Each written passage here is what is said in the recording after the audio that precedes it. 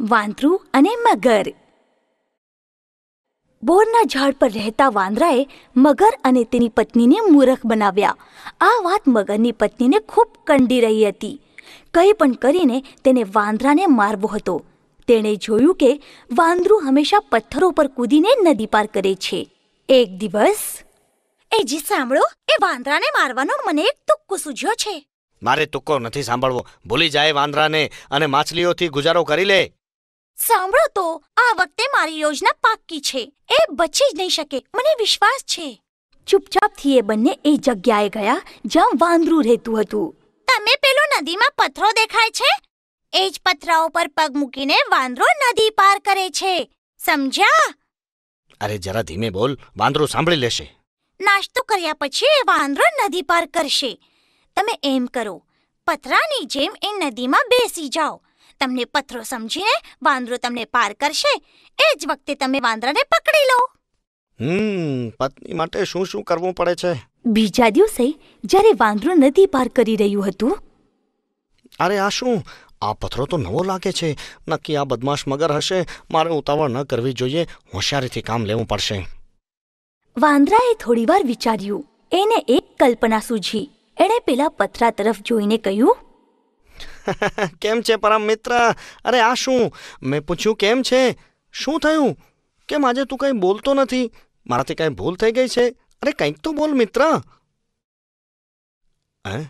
લાગે છે આ પથરા બોલે છે. ચાલો આના બદલે હું જ બોલું છું. હા, બોલ મિત્ર. શું થયું? આજે તું થોડો જાડો દેખાય છે. હું પથરો નહીં, હું મગર છું. તને પકડવા માટે આવ્યો છું. હમ, તો હું સાચો હતો. હવે નદી પાર કેમ કરું? જ્યારે પણ મગર પોતાનું જડબું ખાવા માટે ખોલે, તો એની આંખો બંધ થઈ જાય છે. ઠીક છે. આ તો મિત્ર, તારું મોઢું ખોલ. હું સીધો તારા મોઢામાં કૂદકો મારું છું. ઠીક છે, હું ખોલું છું. જેવું મગરે પોતાનું મોઢું ખોલ્યું તેની આંખો બંધ થઈ ગઈ. એ જ વખતે એ વાંદરાએ મગરની પીઠ પર જોરદાર કૂદકો માર્યો અને એ નદીને પેલે પાર ચાલ્યો ગયો. હે? અરે મૂર્ખા તું મને ક્યારેય નહીં પકડી શકે. આવતી વખતે કોઈ સારી યોજના બનાવીને લાવજે. સાર હંમેશા સાવધાની વર્તવી જોઈએ. બે ભિખારી. સોહન અને મોહન. બે ભિખારી હતા. એ બંને એક મોટા મંદિરની બહાર બીજા ભિખારીઓ સાથે બેસતા અને લોકો પાસે ભોજન પૈસા માંગીને પોતાનું ગુજરાન ચલાવતા. સોહન લંગડો હતો અને મોહન આંધળો. એક દિવસ એક શ્રીમંત માણસ ત્યાં આવ્યો અને એમને કહ્યું મિત્રો મેં મારા ઘરે એક મોટો જમણવાર રાખ્યો છે. તમે બંને કાલે મારા ઘરે જરૂર આવજો. બિચારા સોહન અને મોહન બંને એકબીજાની મદદ વિના તો ક્યાંય જઈ શકે એમ હતા નહીં. મોહને સોહનને કહ્યું જો મિત્ર તું મને રસ્તો દેખાડતો જઈશ તો હું તને મારી પીઠ પર બેસાડીને ત્યાં લઈ જઈશ સોહનના માર્ગદર્શન પર મોહન સોહનને પીઠ પર બેસાડીને લઈ ગયો બંને જમણવારમાં ભરપૂર ભોજન જમ્યા. હંમેશા એકબીજાની મદદ કરવી જોઈએ. કીડીની કૃતજ્ઞતા. એક દિવસ એક નાનકડી કીડી ઝાડ ઉપર ચડી રહી હતી. અચાનક જોરથી પવન આવ્યો અને તેના લીધે તે ઉડીને પાસેથી વહેતી નદીમાં પડી. બિચારી કીડી જીવનો જોર કરીને તે ઠંડા પાણીમાંથી કિનારા પર આવવાનો પ્રયત્ન કરવા લાગી. ઝાડની ડાળી પર બેઠેલા કબૂતરે કીડીને ડૂબતી જોઈ.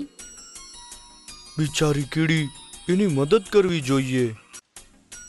તેણે ઝાડનું એક પાંદડું તોડીને કીડીની પાસે ફેંક્યું.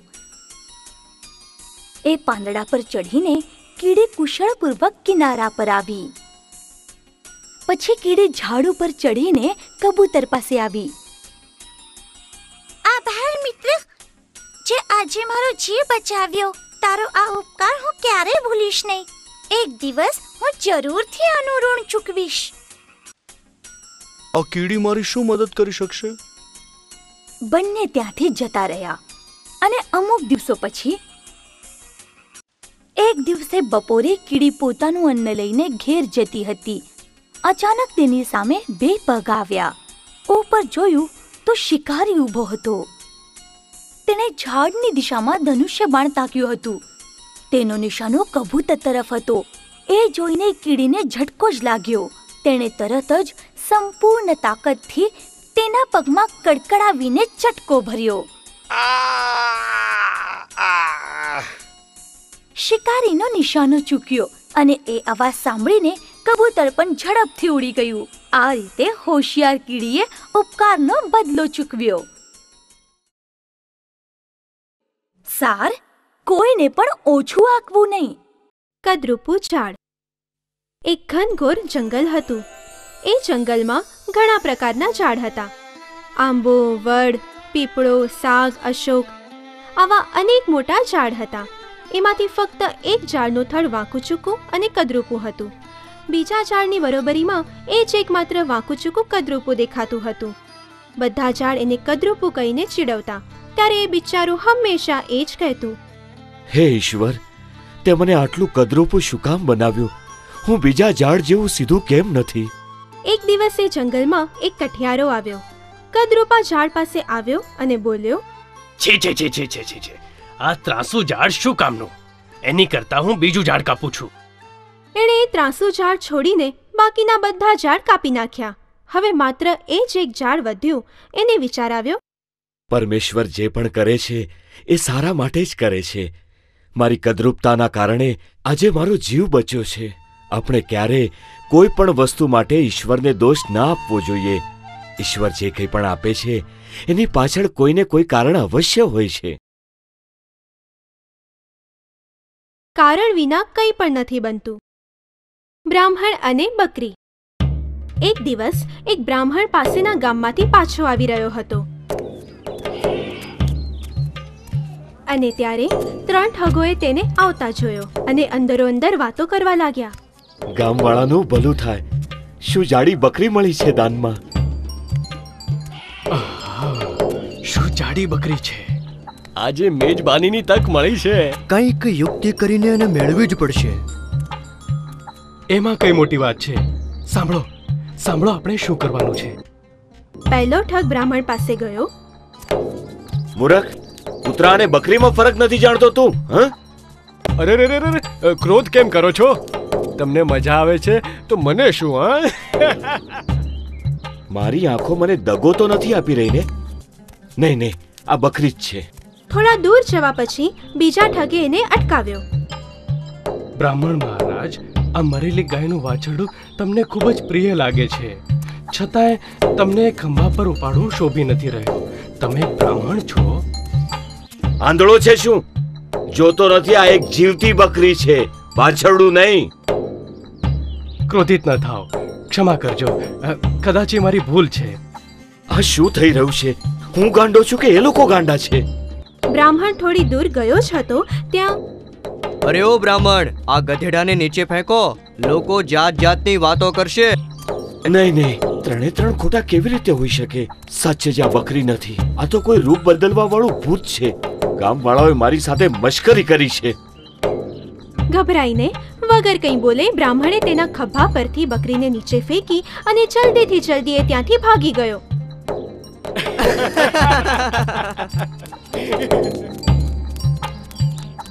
બ્રાહ્મણના ત્યાંથી જતાની સાથે ત્રણ ઠગોએ એ બકરીને રાંધીને સારું ભોજન કર્યું.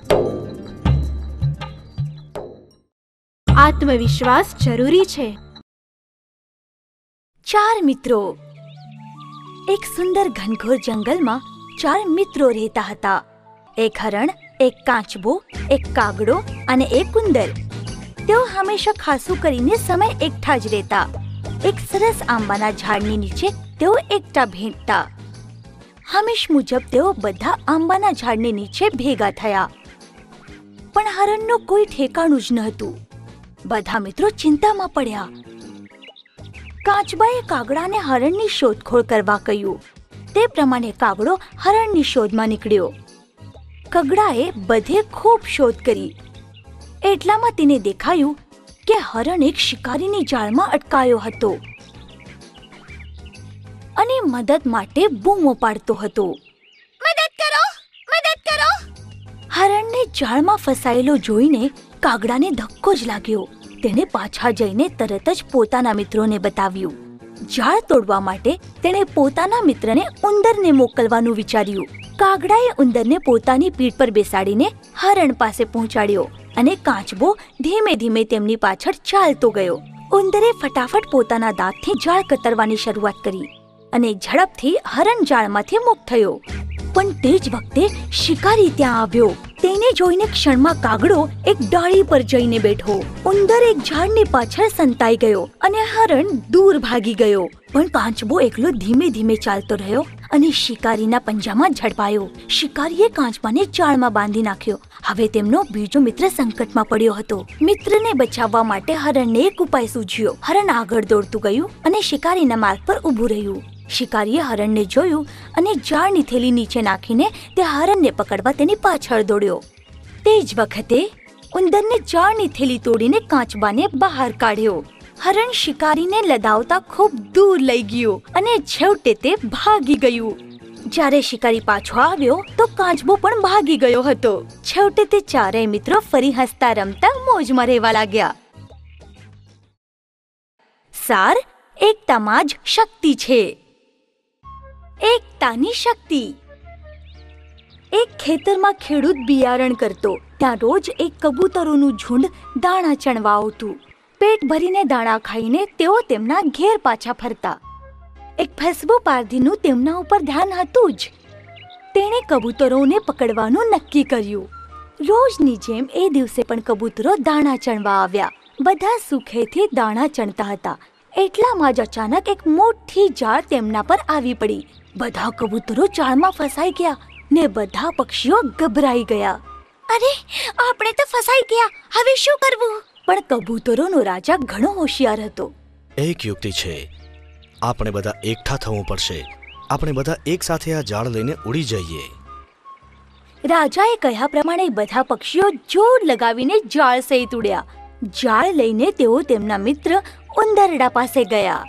અમારી મદદ કર મિત્ર. તારા તીક્ષ્ણ દાંતથી આ જાળ તોડીને અમને છોડાવો. અરે ગભરાશો નહીં, હું તમને છડાવું છું.